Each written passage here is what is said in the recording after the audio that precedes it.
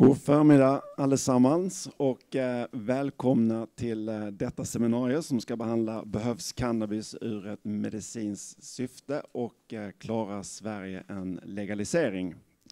Det här är ett eh, seminarium som anordnas i samarbete med eh, Läkemedelsakademin och Apotekarsocieteten och eh, Ufold. Jag heter Mattias Hallberg och jag är professor i molekylär beroendeforskning och ordförande för just Ufold. Och Ufold är en eh, satsning från Uppsala universitet på eh, eh forskning eh, och eh, att driva kunskap runt läkemedels och drogberoende frågor. Och vi har ett antal seminarier, sju seminarier som vi har haft eh, på temat alltifrån doping till mobilberoende till psykisk ohälsa och andra saker som är relaterade till drogproblematik. Eh, detta seminarium kommer eh, modereras av eh, Ingrid Hellander, som jag har här, som är chefredaktör för Läkemedelsvärlden. Och hon kommer ta er igenom denna dagen. Varmt välkomna!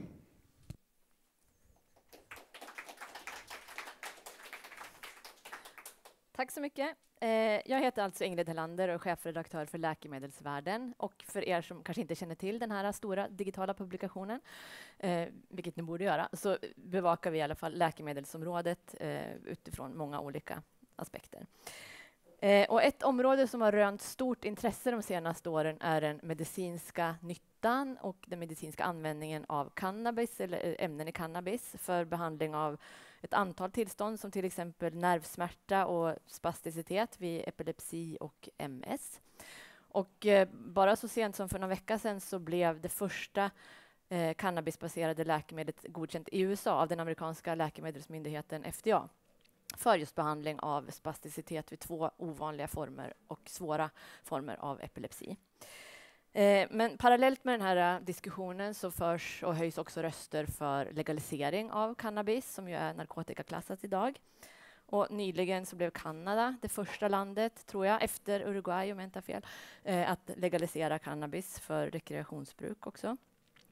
Eh, och eh, sen så finns det en hel del stater i USA som också har gått den här legaliseringsvägen. Men, men eh, den här diskussionen förs även på närmare håll. Och eh, så sent som vid årsskiftet nu så blev, fick danska läkare rätt att förskriva cannabis till ett antal olika patientgrupper. Och det här är någonting som har kritiserats eh, starkt från både Läkemedelsstyrelsen, alltså danska Läkemedelsverket, och Danska Läkarförbundet och Danska Allmänläkarföreningen, som eh, då menar att det finns inte tillräckligt mycket evidens vad gäller effekt och risk med cannabis så här brett förskrivet och att det här snarare är ett politiskt framdrivet försök snarare än någonting som baseras på vetenskap och liksom fyller ett, ett medicinskt syfte. Så. Um, och ehm, man menar också att det här egentligen, de ser det som att det här är första steg mot legalisering av cannabis i Danmark. Och eh, då kommer vi till dagens seminarium som ju ska behandla den här frågan och som Mattias sa, eh, behövs cannabis ur ett medicinskt syfte?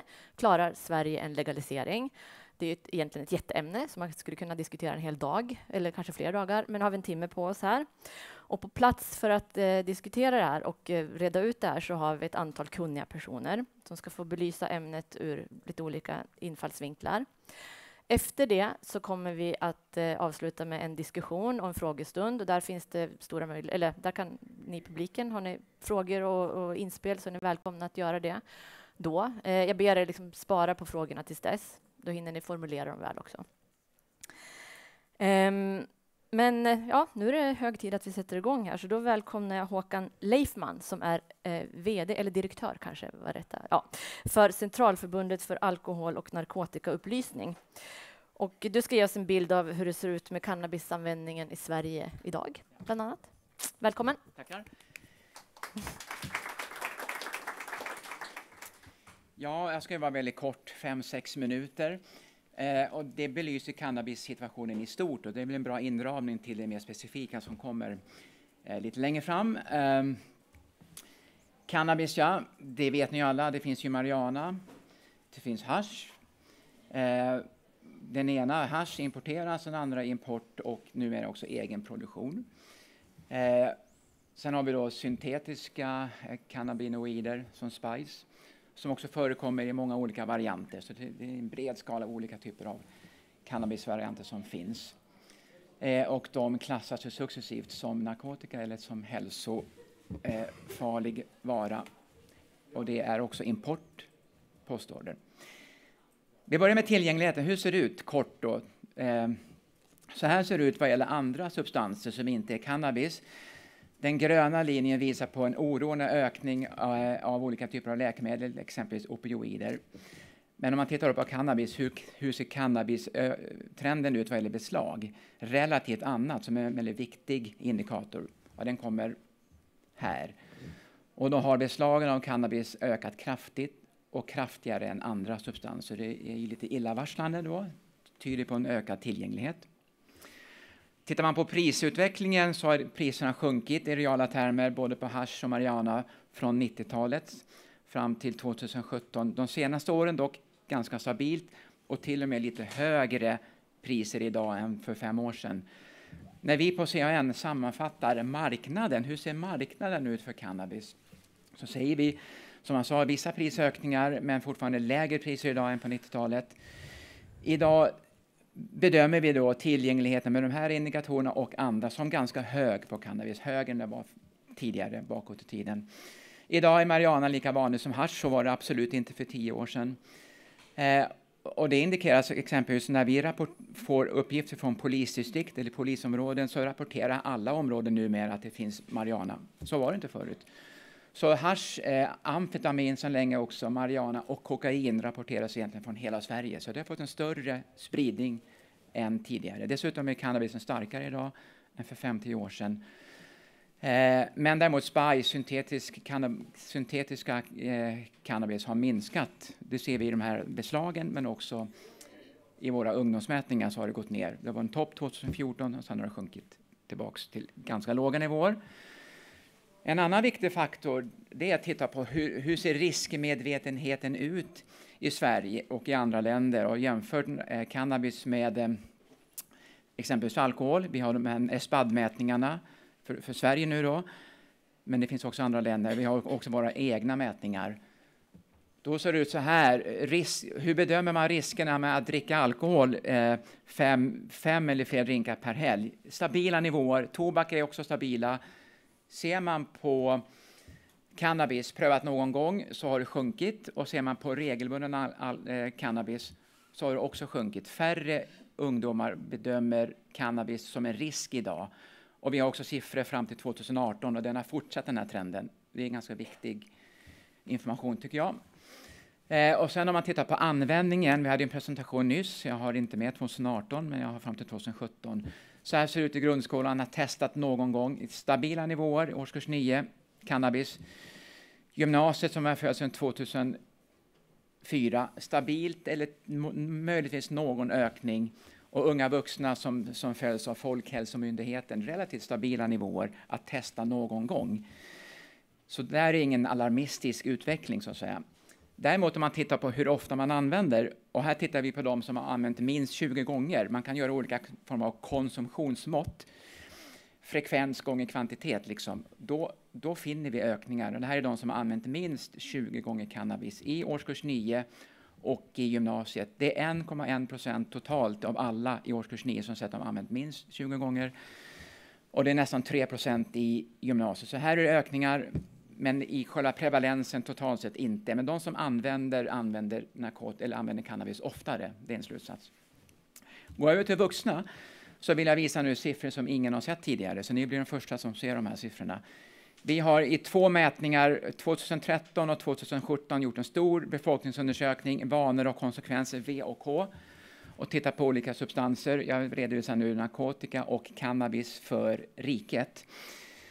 Då ser det ut så här. 2,5 procent sa att de hade använt cannabis 2013 i åldrarna 17 till 84 år.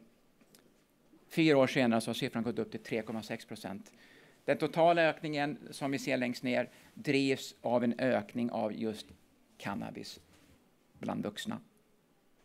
Andra mätningar indikerar ungefär samma sak. Så vill jag slut, avslutningsvis visa med helt nya siffror också, bara för er ännu. Eh, vi tittar på rättsmedicinskt undersökta, det är ungefär 5 000 till 5 500 per år. Det har varit konstant och det dör 90 000 per år. Och så har det gjort i många år.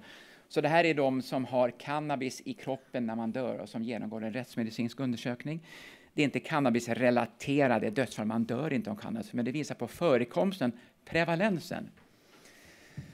Och det indikerar någonting, tror jag, viktigt. Det är preliminära siffror, men jag känner mig ganska trygg i de här siffrorna. Och det, de här görs när rättsläkaren vid misstanke, där, där rättsläkaren tror att det finns kanske, så då begär man eh, en, en testning av cannabis.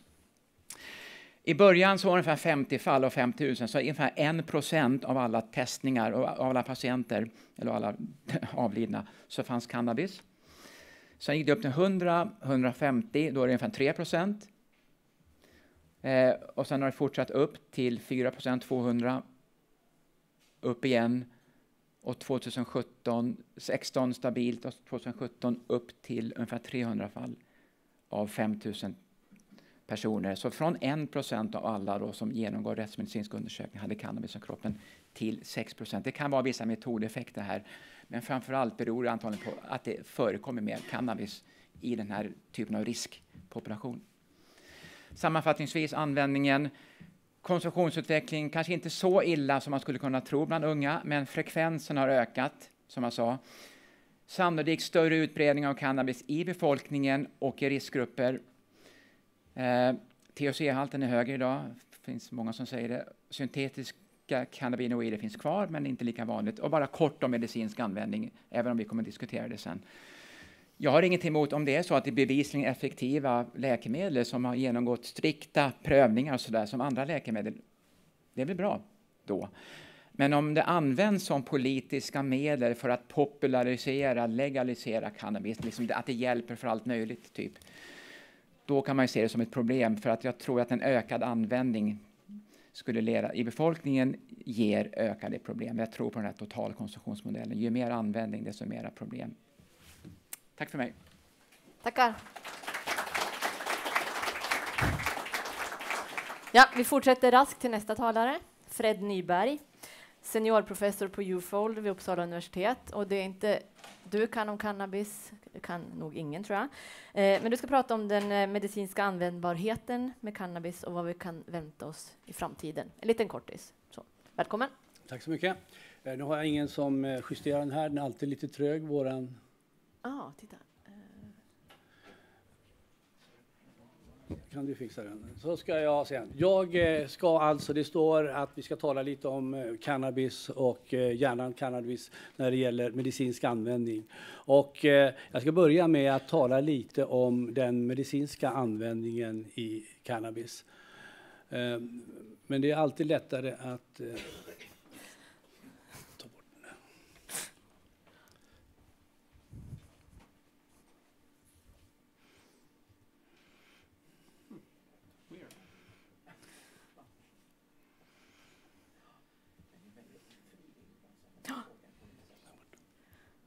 får fylla med vad man vill här. Och så tar den där.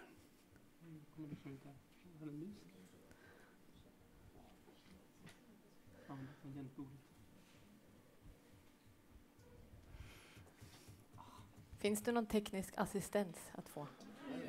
Nu kommer ja, titta, nu gick det. Musen funkar inte. Ja, vi går direkt till det här. Önskvärda effekter av cannabis. Vad har vi för möjligheter att använda cannabis till eh, hjälp, till klinisk hjälp. Ja, vi har diskuterat mycket om kroniska smärttillstånd, neuropatisk smärta, fibromyalgi, migrän, artrit, muskelspasm har vi hört talas om. Multipel skleros eh, vet vi, vi har till och med ett, eh, en, en, produkt, eh, Sativex. Eh, ruseffekten bidrar också, fast den är lindrig. Så komma ihåg också att cannabis, det är väldigt parallellt lika med det kroppsegna endorfinsystemet som vi har som också är kopplat till smärta. Men både det kroppsegna cannabinoida systemet, det endogena cannabinoida systemet med an, en anandamid som huvudsubstans, de är också väldigt betydelsefulla för placeboeffekten. När det gäller kronisk smärta så har man räknat ut att de som får i en test sockerpillet så är det 30 som säger att de blir hjälpta. Så ska jag komma ihåg detta och då involverar man förmodligen också det endokannabinoida eh, systemet. Men idag så har man gått ganska långt när det gäller att använda och pröva det här medicinskt. Det här är från ett apotek i Prag där man kan få eh, salvor som innehåller eh, cannabis och stryka på och det kan man köpa. Man kan också köpa godis, så det är lite olika i eh, olika länder. I USA är det naturligtvis väldigt eh, utbrett det här. Och I USA så satsar man ju väldigt mycket på det här. Det här är en stor industri. Här ser man möjligheterna att tjäna pengar. Och då ser ni vilka indikationer man talar om. Man talar om cancer, man talar om migrän, man talar om artrit, man talar om kronisk smärta. Framförallt det sista. Och räknar med att man till 2025 har kommit upp till en enorma omsättningar eh, med eh, det här. Och det här kommer vi få höra lite mer om senare. Men jag vill bara visa den ganska färska där. För här ser ni, och jag vill visa det användningsområden för eh, detta. Eh, och vad är det man är intresserad av? Jo, det är inte så i första hand man är intresserad av, från medicinskt håll av att eh, röka, utan man är intresserad av att få effekter av någonting som finns i marijuanan eller i, eh, eller i hash. Och eh, det som finns framför allt så är det ju den här THC-komponenten, delta 9 tetrahydrokaminol, som ansvarar för euforiska effekten, men också är med i det smärtlindrande systemet. Det finns en metabolit, eh, som ni ser där, 11-hydroxy delta 9 THC, som också är aktiv. Sen har vi cannabidiol som har ett särskilt intresse, för där har man sett mindre negativa effekter. Man har sett hjälp med, eh, mot till exempel epilepsi. Jag har skrivit en artikel där i Synapsen om just detta. Så där finns det ju lite att eh, hämta. Och sedan då har vi eh, eh, cannabinol som också finns. Men vad som kommer fram och vad som har gjort att man på Läkemedelsverket har gett licens för användning, det är att man har tagit fram olika beredningar då man har kunnat minska THC-halten i vissa preparat och förändra den och framförallt förändra förhållanden mellan eh, THC och eh, CBD. Minska dem, i alla fall ha dem lika. Eh, tyvärr är den nya marijuanan i USA, där är det fel förhållande. Där är det 3 till 1 när det gäller eh, THC till, eh, till CBD. Men det är den här sista eh, um, beredningen som eh, har använts av Claes Hulting, som han har fått licens till tillsammans med en annan, att först och främst använda själv. Då ska vi veta att han, får, han röker inte den här, utan han får ett extrakt där man har dämpat, minskat THC-koncentrationen och där man har då bättre förhållande till CBD. Och i och med att han tar det som ett extrakt, inmundigar det, så ska det passera mag-tarmkanalen och det reducerar den euforiska effekten, så han upplever inte att han får en eufori. Det här vill man pröva och han har fått tillåtelse att sätta igång kliniska prövningar av en beredning. Annars så har vi ju alltså en annan mycket större restriktion när det gäller läkemedel. Vi vill köra igenom så det här är inte egentligen ett läkemedel, men det är en medicinskt användbar produkt. Ett läkemedel har mycket större krav. Det har klarat igenom toxtester, fas 1, fas 2, fas 3-studier som är oerhört omfattande och som vi gör för att säkerställa att vi inte stoppar i patienterna eller individen någonting som kan vara skadligt. För det vet vi, det finns en baksida av det här som jag kort ska säga någonting om i alla fall. Och det är som vi har hört att är det full tillgänglighet, sprider man då fritt cannabis, då är det fler som använder och framför allt tyvärr som man ser i USA mindre. Sen är det ju så att den här smärtlindrande effekten, den är mer moderat. Man har inte kunnat komma fram till att det är allt eller intet, så man får en ordentlig eh, smärtlindring. Men vissa personer svarar, kanske fyra på tio svarar på till exempel Sativex. Och eh, tittar man på, här ser man ett litet bekymmer i USA, kom en rapport nu i april 2018, att många som går på, röker marijuana för att få smärtlindring, det räcker inte. Så det är väldigt lätt att man går vidare på opioider eh, som man gör. Eh, och eh, då är det, vad är det som är riskfullt då? Om vi säger, avslutar med några ord om detta. Ja, det är den unga hjärnan som inte är färdigutvecklad. Om man börjar som Eh, i 12, 13, 14, 15 års åldern. Men det är därför som man i USA har sagt vi ska inte börja förrän efter 20. För som ni ser på den här bilden, hjärnan är inte färdigmogen förrän man kommer upp till 20-årsåldern. Och då har man avsevärt kunnat reducera eh, riskerna om man börjar då. För det är frekvent rökning i 12, 13, 14, 15. Det är det som är risken för att eh, man ska få en effekt som påverkar det emotionella beteendet, omdömet, beslutsfattande, uppmärksamhet och personlighetsdragen.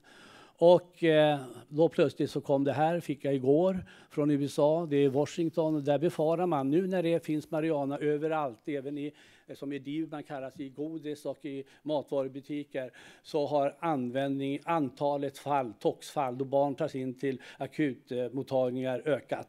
Det där var noll en gång i tiden. Det var som när jag var ung, när barn satte i sig cigarettfimpar och fick åka av magpump och så vidare. Man ser tyvärr samma problem i USA nu. Och eh, då är det ju tyvärr så att man trodde i Colorado att de flesta skulle vänta tills man blev 21 år eller Uruguay tills man blir 18 år. Men så är det inte. Genomsnittsåldern för att starta med det här är faktiskt eh, i 13, 14, 15 års åldern. Och i eh, USA, i Colorado, ser man en kraftig ökning av de som använder det.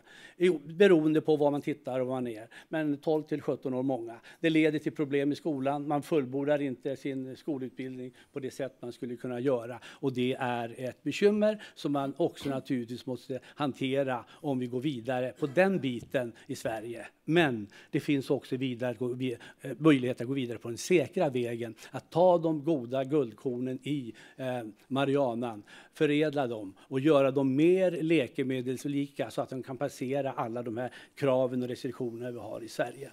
Vi får se vad som händer, men det finns mycket mer att säga om det här och vi ska höra fler efter mig. Tack! Tackar.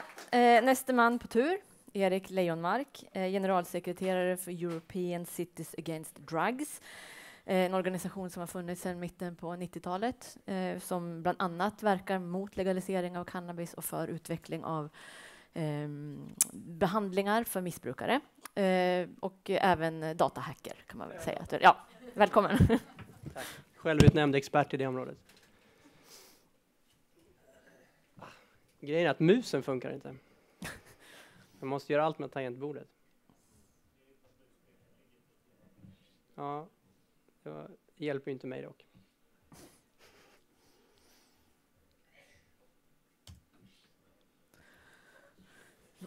Så, eh, tack så mycket för introduktionen. Eh, precis, det stämmer. Jag är generalsekreterare för EKAD. Vi eh, tycker någonting i drogfrågan och det är att eh, legala droger är värre än illegala.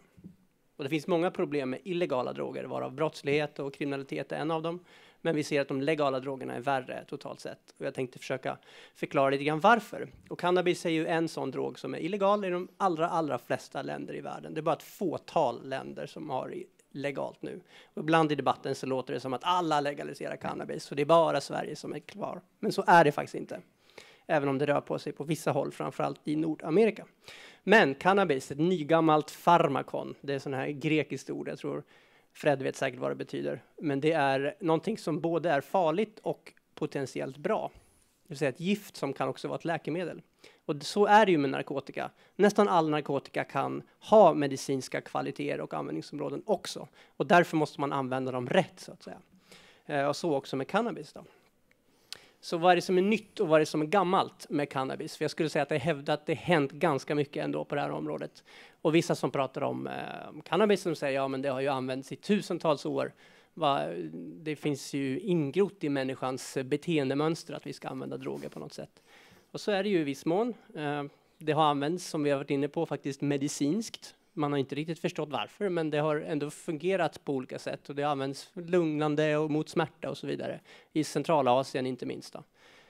Sen har det också använts inom eh, religionen. Det har varit ett sätt genom ökad sinnesmedvetenhet att komma i kontakt med gudar till exempel om man har druckit cannabisdrycker i Indien. Och det finns, man ska inte underskatta eh, drogers eh, plats i religionen. Och även i vår del av världen Flugsvampen och vikingarnas eh, bärsärke och raseri är också någon, ett exempel på det. Och sen har det också använts för att människor vill så att säga berusa sig på olika sätt. Det är inte konstigt eh, så.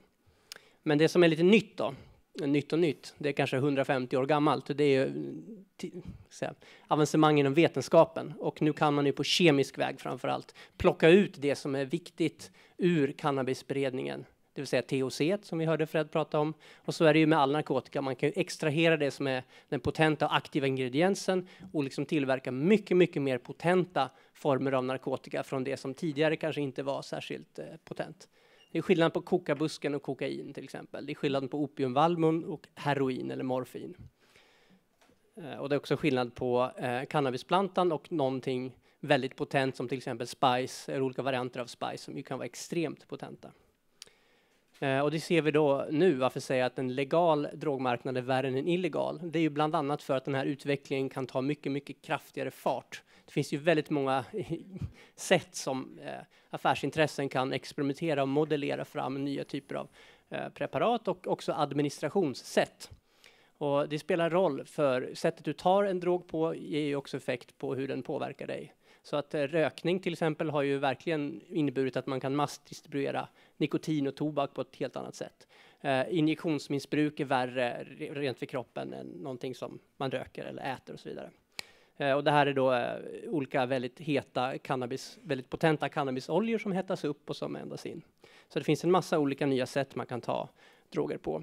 Och sen sitter världen ihop och det betyder att vi har en tillgänglighet idag som är stor på olika typer av narkotika i olika delar av världen samtidigt. Det är inte så att vi bara har en drog på en plats och så kan vi kulturellt lära oss att hantera det, utan idag har vi potentiellt alla droger tillgängliga överallt samtidigt och det är ganska nytt. Då. Och den här kurvan från Fred visar en bild på tillväxten på den medicinska marijuanamarknaden, men också den så kallade rekreationella marijuanamarknaden förväntas ju spå eh, rekordökningar. Då. Men det är inte riktigt nytt heller. För världens första, skulle jag vilja mena, kommersialiserade drogmarknad, den verkligen slog världen med full kraft. Eh, det var i slutet av 1800-talet och det var i Kina. Och det var dåtidens stormakter som smugglade opium till Kina på olika sätt. Och man anlitade brottslingar, smugglare, eh, för att undkomma kinesiska regleringar. Men importen av framförallt indiskt producerad opium som engelsmännen smugglade till Kina tog enorma konsekvenser och ni kan inte se riktigt siffrorna där, men ni ser tecknen på, på det. Så att Storbritannien gick i krig då två gånger för att tvinga Kina att legalisera opium i mitten på 1800-talet. Och efter det så började kineserna själva odla opium och då exploderade verkligen tillgången. Och en väldigt stor andel av den kinesiska ekonomin och befolkningen var beroende av pengar från opiumhandeln och det var enorma sociala problem på den tiden. Och också Karl Marx uttalade sig om det dubbelmoralen i eh, vad han kallar för frihandeln i gift. Men att eh, man försvarade egentligen i hemlighet. Man monopoliserar frihandeln i gift och det tyckte han var omoraliskt. Då. Så att vi har ett sätt, ska bara säga, att hantera detta på. Vi vill inte ha en kommersialiserad drogmarknad, men vi vill ha den legala eh, medicinska användningen av det. Och instrumenten för att göra det bygger mycket, utgår mycket från FNs narkotikakonventioner. Och de tillkom efter situationen i, i Kina som ju fick enormt negativa konsekvenser. FN bildades ju efter andra världskriget. 1961, 71 och 88 så läggs tre konventioner. Och i korthet så betyder det att alla jordens länder förbinder sig till att göra just detta. Det medicinska användningsområdet, okej. Okay. Det andra användningsområdet, inte okej. Okay. Så att narkotika i sig är inte förbjudet. Och det är lite paradoxalt kanske. Men det är tillåtet under vissa former. Det vill säga att det icke-medicinska användningsområdet är förbjudet, men det medicinska är tillåtet och man får också forska med det. Det är det det betyder.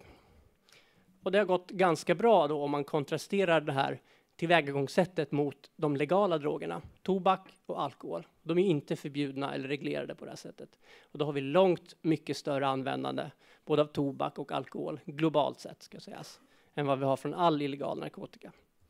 Och också om man ser till den aggregerade hälsobördan, det vill säga hur mycket problem och samhällsekonomiska kostnader kan härledas till de olika drogerna, så ser vi också ganska tydligt på siffror från Världshälsoorganisationen att det är de lagliga drogerna som orsakar enormt mycket större kostnader för samhället. Både sett till följd av förtida död, då har vi tobak väldigt allvarlig, men också antal livsår som är förlorade till ohälsa eller död på olika sätt. Men nu är vi här. Nu är kanske inte all, jag skulle hävda världens andra kommersialiserade narkotikamarknad. Och då är vi eh, har vi till exempel sådana märken som Bob Marley, som hans efterlevnade har sålt sitt namn då för att sälja cannabis-cigaretter på.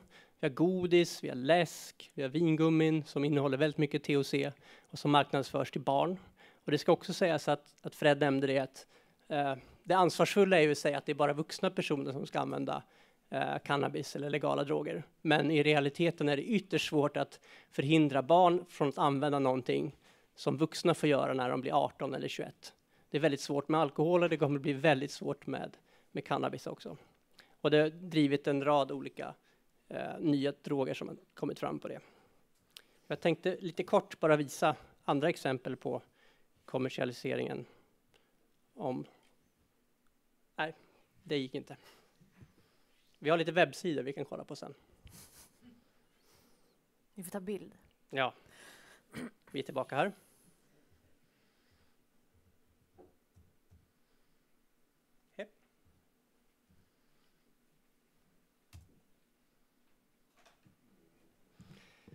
Suck.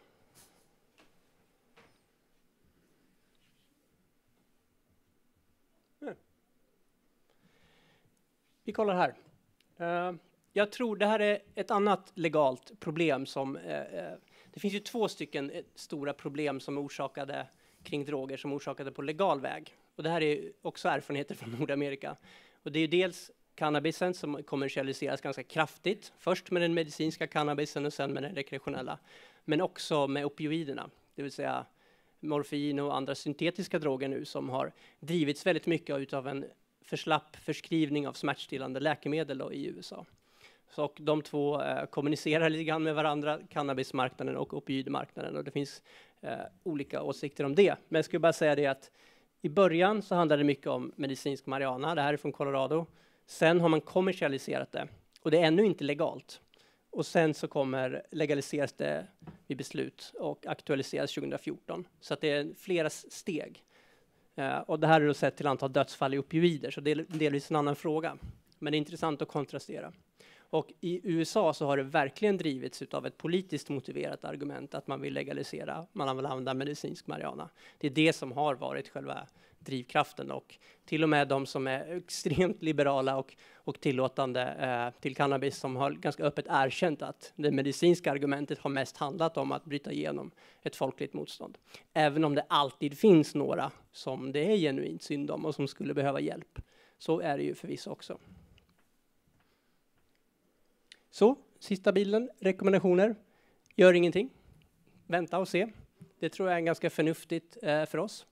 Eh, avvakta och se vad som händer i, vi har ju en del data från USA. Eh, avvakta vad som händer i Kanada. Eh, Norge, Portugal, vad helst man vill titta på. Vänta lite grann och, och eh, avvakta. Det finns ingen anledning att stressa fram någonting. Och fortsätt forskningen på seriösa läkemedel. Det är jätteviktigt. Eh, medicinsk marijuana är ganska, till stora delar ganska mycket drivet av en, så att säga, en bluff för att motivera det. Men det betyder ju inte att det är inte rimligt att satsa på seriös läkemedel som drivs av THC. Helt annat. Och lär av Island om ni ska lära av något land. Och det hör man inte så mycket om, men där har man nu byggt ett samhälle där man byggt bort ungdomars önskan om att vilja berusa sig från droger genom att adressera risk och skyddsfaktorer i barns uppväxtmiljöer. Ganska tråkigt, osexigt, men det går verkligen att med kraftigt minska på ungdomars så att säga, önskan att vilja berusa sig alkohol, tobak och droger. Och utveckla vården och det svåra där är kanske att det räcker inte med kortsiktiga program, det räcker inte med harm reduction-åtgärder heller, utan det svåra är att se till att människor förblir eh, drogfria, nyktra eller tillfrisknande och inte återfaller igen. Och det finns jättemycket att göra på det området också. Jag stannar där och får vi se hur det går med datorn. Härligt. Innan du går, kan inte du ta fram nästa presentation? Du var så duktig på det där. Tack. Um, det är härligt med, med, många kompetenser här. Men, men eh, sist men inte minst nu så ska vi höra Walter Kegö, Senior Fellow på Institute for Security and Development Policy, ISDP. Eh, och eh, vad fint du har fått upp den. Du ska ge oss en bild av vilken miljöpåverkan eh, narkotikaindustrin har. Och då med fokus på cannabis. Eller hur? Yes. Välkommen. Tack så mycket. Eh, ja, egentligen så sysslar jag med att titta på internationell grov brottslighet, men jag roar mig också med att titta på eh, narkotika från och till. Och det här är ett projekt som Folkhälsoinstitutet har en gång i tiden finansierat. Eh, den broschyr ni ser nu är eh, avsedd för grundskolan. Jag, vi, jag och några medarbetare skrev en eh, större eh, rapport som, vi, som används på gymnasiet. Ehm, och eh, ja, nog sagt om det. Jag kan bara säga att jag har sysslat med narkotikaproblem sedan 1990 i olika sammanhang. Eh, så det här är eh, liksom inget nytt. Men det som är nytt är själva grundtanken att man ska titta på hur mycket förstörs miljön av all denna narkotikatillverkning som sker i världen. Jaha, den fungerar inte den här. Hur gör man då? Så kanske? Nej. Den har låst sig. Va? Ja, så det funkar där? Okej. Okay. Okej. Okay. Jag får titta så här då. Uh, nu ska vi se. Nej. Så, nu är vi rätt. Det här är alltså en mycket smutsig bransch. Hela narkotikaindustrin är det är dödliga eh, effekter vi får av den. Och det gäller ju inte bara då att eh, narkotikaindustrin förstör människor, den förstör även miljön. Och det är ingen som har lyft fram de argumenten eh, hittills, vad jag har sett i varje fall. Ja, det här är två lik från Mexiko där man har skjutit ihjäl eh, två eh, langare. Det som sker när det gäller narkotikatillverkning är att man förorenar vattnet, luften och marken genom avskogning. Och det gäller även eh, för att tillverka eller odla cannabis. Men framförallt gäller det när man ska odla eh, kokabuskar i Sydamerika. Då skövlar man regnskogen. Jag ska visa en bild på det eh, sen tror jag, om jag hinner. Eh, och även eh, när man odlar vallmo i Afghanistan till exempel så måste man hugga ner eh, skog för att kunna göra det. Man använder insektsmedel, stora mängder, för att optimera sin produktion. Man använder naturligtvis gödning. Och eh, sen får man eh, stora mängder kemiskt avfall av detta som eh, man naturligtvis inte tar hand om utan det åker ut i naturen. Och man använder också kolossala mängder el, framför allt när det gäller cannabisodlingar eh, inomhus. Ja, produktionen i världen är ungefär 50 000 ton har FN beräknat. Eh, om det är någon som undrar hur mycket vi får in i Sverige av det så ligger det på ungefär eh, 50 ton per år. Två stora långtradare alltså. Men som tur är så sväljer norrmännen 40 procent av det. Så att i Sverige knackas det för ungefär 30 ton ungefär. Ja, miljöförstöring inomhus då, eller förlåt utomhus. Där måste man använda råttgift, för råttorna gillar att käka rötterna från eh, cannabisplantan. Och det är inga, oftast är det väldigt starka eh, gifter man eh, lägger ut, för, så att eh, stora björnar eh, dör till exempel i USA av en åttondels tesked av det här giftet. De får i sig det genom att man lämnar eh, rester av eh, det här som avfall. Man använder gödsel, Ogräsmedel måste man ju ha, annars så käkar ju eh, ogräset upp plantorna. Insektsmedel så att eh, inte insekterna käkar upp plantorna. Och enorma mängder vatten. Det här innebär ju att grundvattnet förgiftas, vegetationen förstörs, soporna dumpas som jag sa, kemikalierna slängs i naturen, floder och sjöar förgiftas och fiskar och djur dör av den här tillverkningen och odlingen.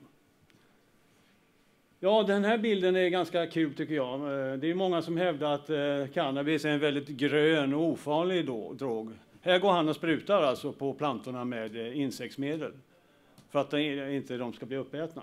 Och det, det, det mesta finns ju sen kvar i själva marijuanan eftersom det består, består av växtdelar.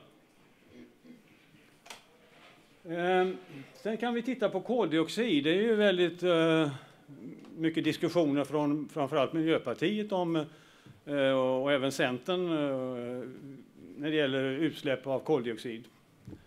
En joint innebär att man på köpet får ett och ett halvt kilo koldioxid. Ett kilo cannabis innebär att man får 4 600 kilo koldioxid. Och det är samma som en bil i Sverige under två år släpper ut. Ett enda kilo alltså.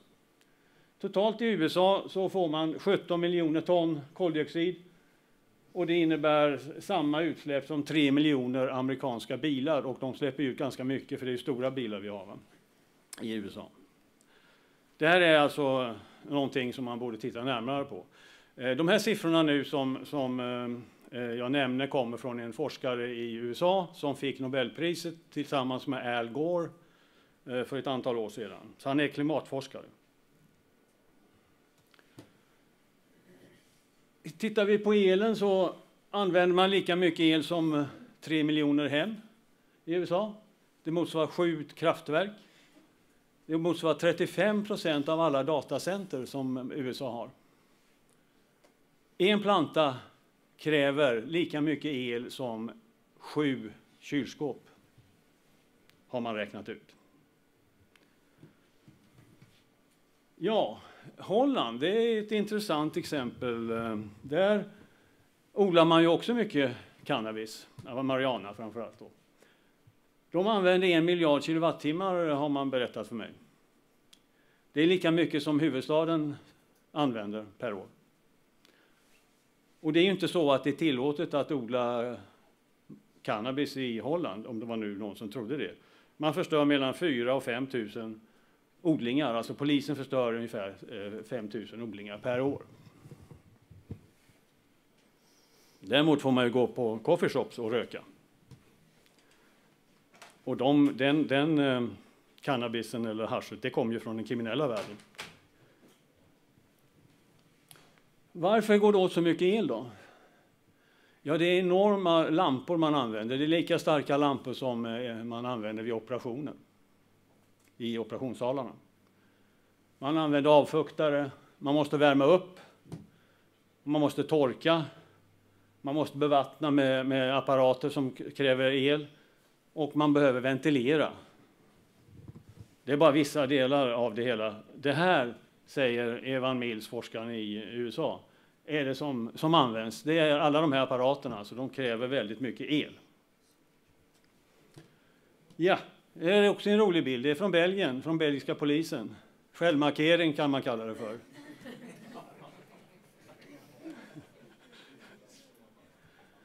Ja, ni skulle inte tro att eh, de kriminella betalar för sin el. Varför ska de göra det? De stjäl det naturligtvis. Så här ser ni tjuvkopplingar. Och det innebär ju att ibland så brinner det ju. Eh, det, det tar ju eld naturligtvis va? i vissa sammanhang. Theft of electricity, det är från eh, belgiska polisen. Cannabisplantan är väldigt törstig, precis som missbrukaren är väldigt och så vidare. Eh, ungefär 30 liter, mellan 25 och 30 liter vatten per dygn för att må bra och växa bra tillsammans med alla eh, kemiska eh, till, tillsatser. Eh, I Kalifornien använder man 200 miljoner liter vid högsäsong. Och det är alltså 50 procent mer än hela San Francisco använder.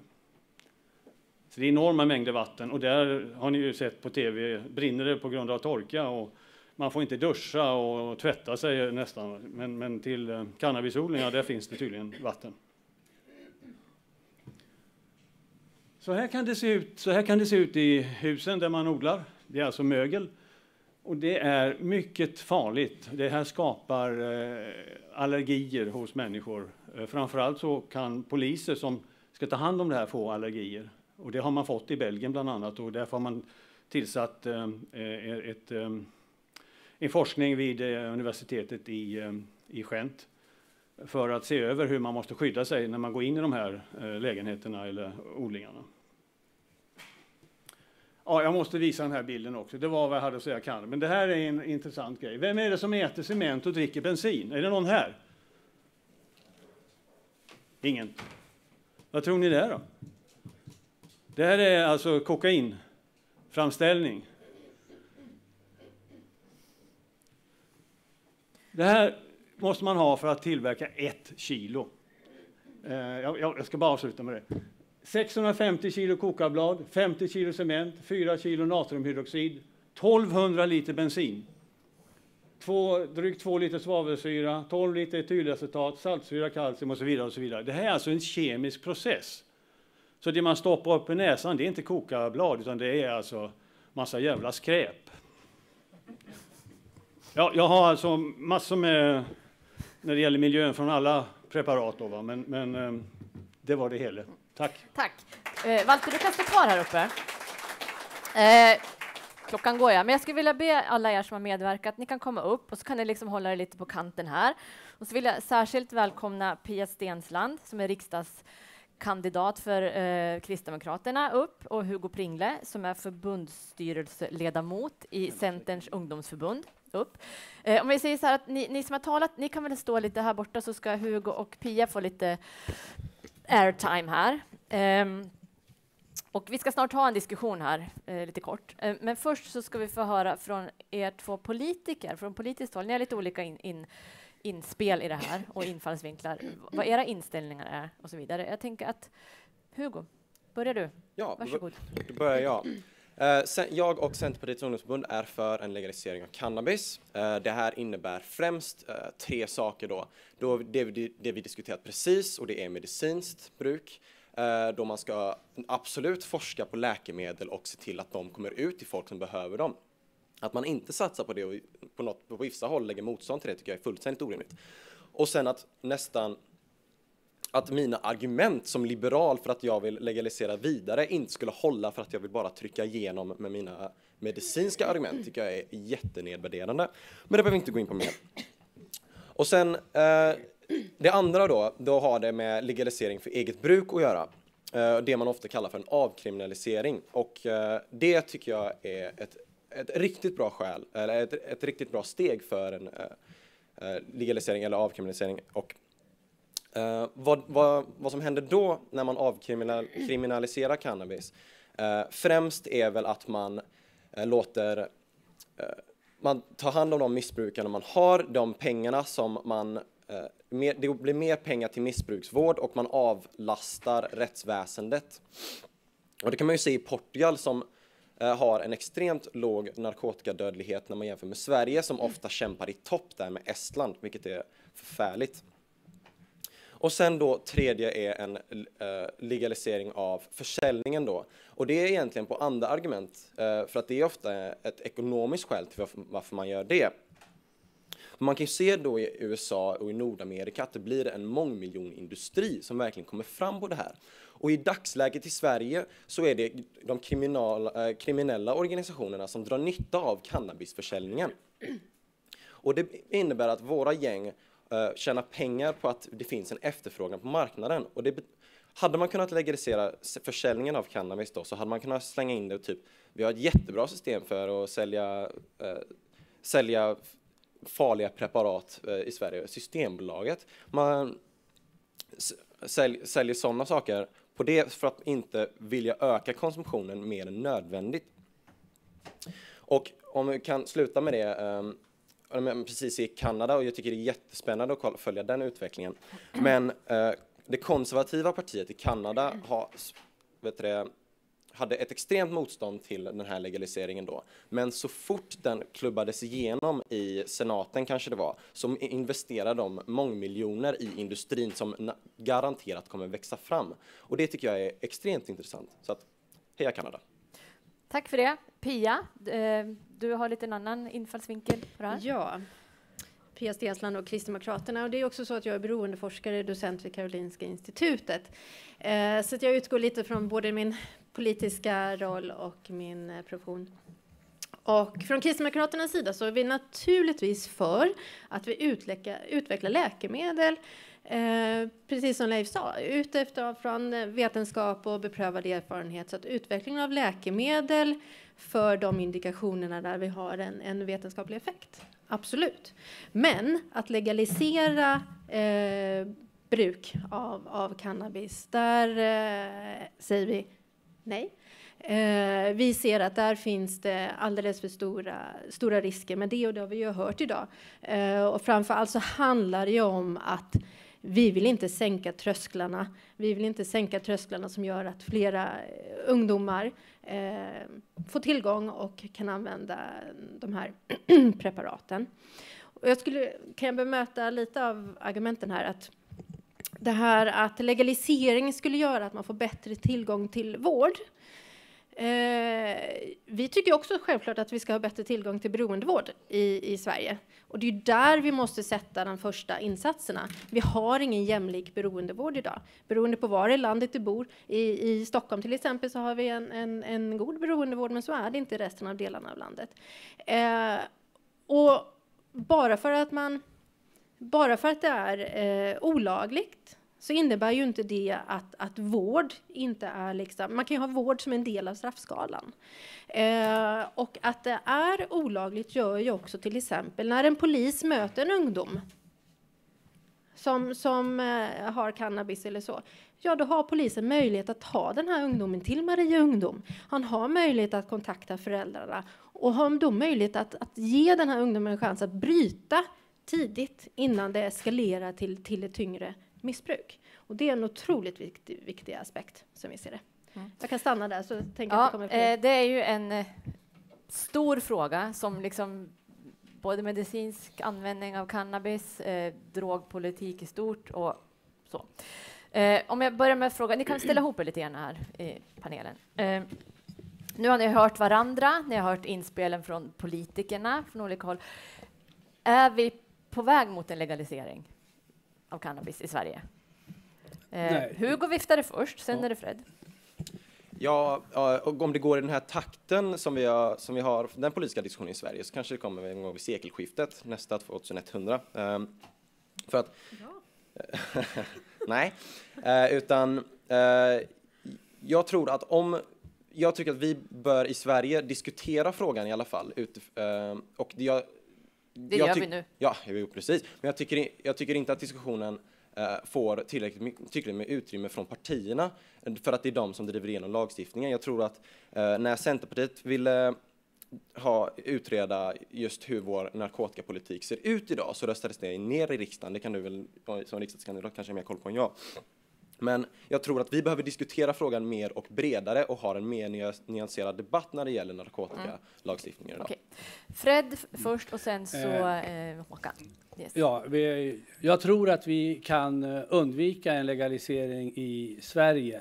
Eh, och då, men då handlar det om politikerna. Det handlar om att de ska förankra sig i vad vetenskapen säger. Och jag tycker att det argument som förs upp från politiskt håll är väldigt vaka. Det utry, eh, eh, Eh, uttrycks forskningen säger sig någon och sen annan forskning säger sig och så åberopar alla eh, politikerna att forskningen säger så. Forskning är inte samma sak som kunskap. Eh, kunskap, det är vad den samlade metaanalytiska genomförda forskningen är. Det är större än enstaka rapporter som man väldigt lätt tar till som politiker. Jag tror att det är väldigt viktigt, annars så får vi ett land som liknar Trump. Jag tror vi ska försöka undvika det, Trumps land. Mm, ja. Håkan? Det är nog, eh, ligger nog väldigt, väldigt långt fram i tiden i så fall. När vi gör mätningar och tittar på vad folk tycker i största allmänhet, vuxna, så är folk väldigt, väldigt restriktiva. Det finns inget som helst stöd där att man skulle göra några större förändringar av narkotikapolitiken. Däremot så eh, ibland blandar vi, vi blandar avkriminalisering och eget bruk och legalisering. Det är två helt olika frågor. Avkriminalisering, det, där, det däremot, det finns inte utvärderat i Sverige. Där finns det många som tycker att man ska göra förändringar och det kanske man kan titta närmare på. Men det är en helt annan fråga än legalisering. Mm. Mm. Um, tiden går ju så himla fort där och ni är så himla många, men jag misstänker och hoppas att det finns en del frågor. Och medan du går ut med micken här så får Pia bara replikera. Lite kort snabbt. bara. Eh, du kan gå ut med micken så länge. Jag vet inte vem som var först. Ja. Får... Lite kort. Alltså det, det, det blåser ju liberaliseringsvågar eh, och där tror jag att vi som politiker måste våga, våga stå emot. Och jag, jag tror att främst så handlar det ju om att vi måste se till att skapa attitydförändringar hos främst eh, unga. Och, och, där handlar det ju om att, att, att vi måste hitta sätt att prata på ungdomars vis. Nu är jag en tant här och beroendeforskare som står här och pratar, men vi måste hitta vägar att nå fram till de unga och förklara de långsiktiga riskerna med det här. Mm, -hmm. Varsågod, säg gärna vem du är och vart du kommer ifrån. Anders Gröder, eh, riksdagsledamot Miljöpartiet. Eh, jag har lite problem med eh, hela frågeställningen kring det här seminariet. För det är ju väldigt två olika frågor, eh, den medicinska delen och legaliseringen. Och jag undrar om vi inte gör debatten en otjänst genom att klumpa ihop dem. Det är helt rätt att i USA så är det samma fråga. När man har en situation där du kan gå in och säga att du har lite ont i magen och få ett medical marijuana card, det är klart att då är det i praktiken en legalisering bakvägen. Men i Sverige så har vi ju inte den typen av kommersialiserad eh, situation och därför har vi heller inte den typ av fruktansvärd opioidepidemi som man ser i, på den amerikanska marknaden som är på grund av den här kommersialiseringen. Så blir det inte ganska konstigt att, så att säga, blanda ihop de här två frågorna när vi har en betydligt mer välfungerande situation vad gäller den medicinska eh, utdelningen i Sverige? Någon som vill svara på det? Jo, jag tycker du har en poäng i det. Eh, jag tror inte man ska blanda ihop dem. När jag får bemöta Centerpartiet här så lyckas han blanda ihop dem alla tre i samma svar. Jag tror att vi, vi ska hålla den medicinska marijuanan ska vara en strikt vetenskaplig läkemedelsmässig fråga. Det tycker jag verkligen och den har ju inte varit så i USA. Och jag, jag kan inte riktigt förstå hur man kan applådera framväxten av ett nytt, nya tobaksjättar som det ju ändå gör. Alltså det finns ju en vinst med legalisering, det vill säga skatteinkomster, arbetstillfällen, absolut. Men det finns ju en kostnad som är bra mycket större. Och ska man kontrollera den draken som du släpper ut, då får du ju begå ganska många illiberala handlingar. Och det i Centerpartiet så förhatliga Systembolaget måste du liksom återinföra med kraft för att få koll på cannabis. Men ni gillar ju inte Systembolaget när det kommer till alkohol.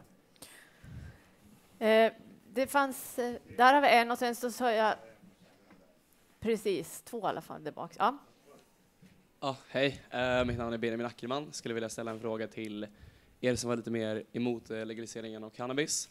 Och uh, ni pratade väldigt mycket om problemet att med legalisering så kommer det vara, eller allmänt kommer det vara väldigt lätt för ungdomar som ni nämnde, 13, 14, 15 uppåt, att få tag på cannabis. Och då tänker jag, med legalisering, är det inte enklare för dem då det finns ett större utbud med legaliseringen att okej, okay, om du vill ha svagare så kan du få det och det är lite enklare att få tag på produkter som är eh, renare skulle man väl kunna säga, som inte är producerade i sämre, på sämre vis. Någon som vill svara här? Pia? Eh, alltså så här, börjar du med ett svagare så kommer du söka dig till starkare så småningom. Eh, och jag tror ju inte för att du legaliserar så tror jag inte att den kriminella eh, verksamheten kommer försvinna. Jag tror snarare att den kriminella verk eh, verksamheten kommer ju få fler ungdomar som är villiga att pröva, pröva tyngre droger och den kriminella verksamheten tror jag istället kommer arbeta ännu mer med att, att förfina och eh, alltså spice och de här vägarna, att det blir en ännu större marknad, tror jag. Mm. Ja, eh, Walter, du hade... Ja, den som prövade cannabis på 70-talet Eh, Eh, han fick i sig THC-halt som var 2-3 procent. Idag får han i sig bomber. Det är alltså THC-halt som är upp till 30-40 procent i vissa av de här genmanipulerade plantorna. Så det är helt andra saker vi pratar om än vad för dina föräldrar eller våra föräldrar eventuellt använder. Mm. Eh, ja, kör, varsågod. Och så har vi en fråga till där bak. Sen så tror jag att vi behöver avrunda. Två frågor. Ja, jag heter Anders Karpesjö. Jag är vice ordförande i NTF, Nationalföreningen för trafiksäkerhetens främjande. Vi är paraplyorganisation för en lång rad folkrörelseorganisationer. Vi förenas av, av, av känslan för nollvisionen och jag vill bara kort snabbt referera till statistik som Trafikverket har. 2015 så var det 21 dödsfall drogrelaterat i trafiken alltså förare, 8 procent av det totala antalet dödade. 2016 var det 35, 13 procent. 2017 var det 40, 16 procent. Eh, jag har också fått kännedom om en vetenskaplig studie från Frankrike som visar att risken för att orsaka dödsolycka ökar med över 150 procent. Det finns viss spridning i den, den undersökningen visserligen. Då. Eh, vi är djupt oroade om det skulle bli en legalisering i Sverige. Däremot så är vi starkt positiva, vi vågar påstå, när det gäller medicinsk forskning. Mm. Tack. Tack. för det. Eh, vi har två avslutande frågor här nere. Jag heter Sven-Olof Karlsson och jobbar i ett narkotikapolitiskt projekt som heter Prevent Don't Promote. Eh, Portugal nämndes här i ett av debattinläggen så som ett föredöme. Jag har ägnat mig åt att studera lite grann vad som har hänt i Portugal. Dels så ligger man ju väsentligt över Europagenomsnittet när det gäller prevalensen vad det gäller cannabisanvändning. Men framför allt så är den högfrekventa cannabisanvändningen väldigt hög hos de flesta.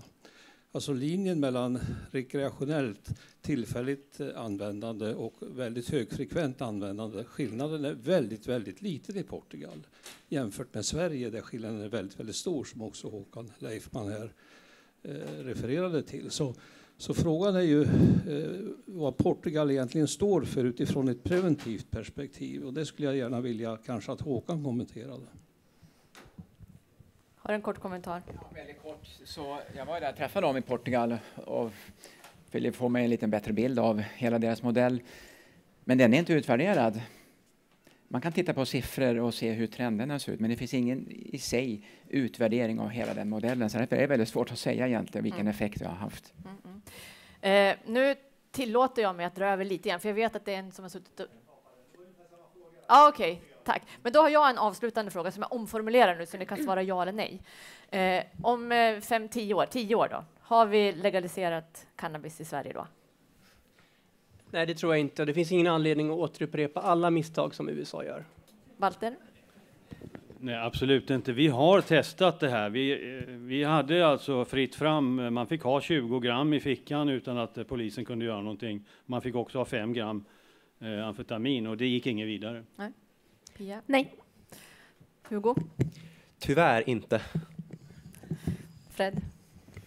Jag tror inte heller. Jag tror, liksom att, eh, jag tror på vetenskapen. Jag tror att vi kommer att få fram eh, jättebra produkter, även det som kan kopplas till det här, eller andra modifierade. Så jag tror att ändå den vetenskapliga forskningen har alla möjligheter, om den får de resurser den behöver. Då kommer vi inte att behöva rädda och ens behöva en, en eh, legalisering. Kanske vi har andra incitament för att stimulera vårt belöningsbehov än att vi ska gömma oss i en håla och röka marijuana.